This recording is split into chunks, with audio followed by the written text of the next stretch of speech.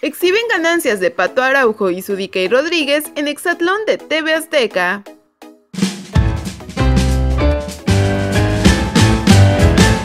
El Pato Araujo y Sudique Rodríguez han desatado una serie de polémicas en el reality show Exatlón de TV Azteca.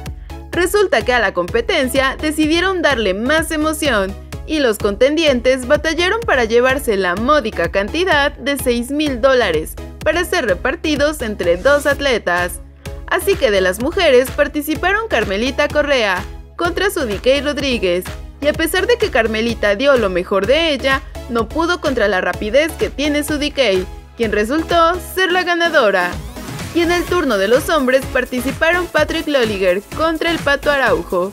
Y a decir verdad, la competencia se vio muy reñida, pues no había tanto espacio en el tiempo que cada quien estaba haciendo. Sin embargo, al llegar a la última etapa de la competencia, donde debían colocar al menos cuatro frisbees en una red, Patrick se notó un poco nervioso, por lo que no pudo colocar muchos. Pero Pato fue todo lo contrario, pues se le pudo ver muy concentrado y logró completar la competencia de manera muy satisfactoria, colocándose como el ganador de los 3 mil dólares. Recordemos que hace algunos días precisamente estos dos concursantes, Pato Araujo y Sudique Rodríguez, estuvieron en el ojo del huracán, cuando se destapó que habían pasado una noche juntos en Exatlón, y que esa era la verdadera razón por la que Sudique le estaba ayudando a Pato para que permaneciera en la competencia. ¿Y tú, qué opinas de las ganancias de Pato Araujo y Sudique Rodríguez?